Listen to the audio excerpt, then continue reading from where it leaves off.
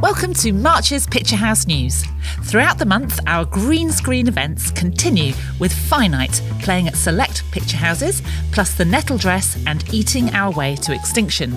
All followed by panels made up of local experts, activists, writers, and businesses, all looking to embed a more sustainable way of living.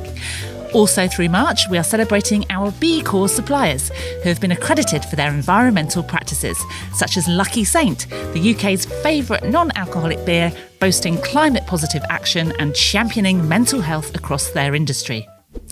This month, we celebrate one of cinema's most influential directors, Akira Kurosawa, with a unique chance to see his bold, epic masterpieces on the big screen. The season includes Rashomon, The Seven Samurai, and 1985's Ran.